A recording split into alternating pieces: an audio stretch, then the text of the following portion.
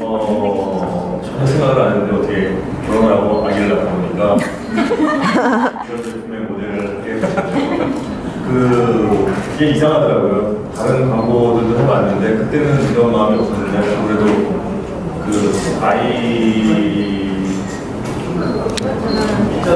길 없는 대로. 그저 빛을 껐으면 좋겠어. 빛을 꺼졌으면 좋겠어.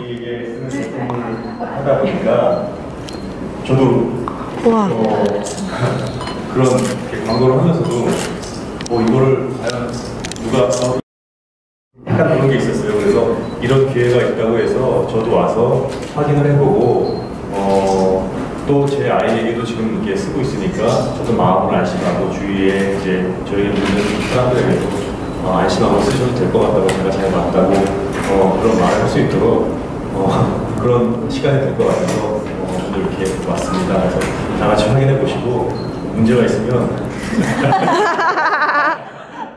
예, 어쨌든 어, 이렇게 만나게 돼서 감사합니다. 아, 감사합니다. 고맙습니다. 이 받는 그런 감정이었던 것 같습니다. 오늘. 너무 잘 설명해 주셔서 마지막에 그 정수된 물을 설명해 주신 그 선생님께서는 막 드시고 했으면 더 네, 어쨌든 너무 깨끗하고 네, 좋은 공장이어서 감사하고 잘 쓰겠습니다. 감사합니다.